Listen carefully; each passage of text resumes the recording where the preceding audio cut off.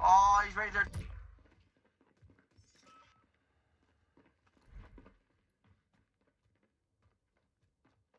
We're planting the bomb. We planted the bomb. No way.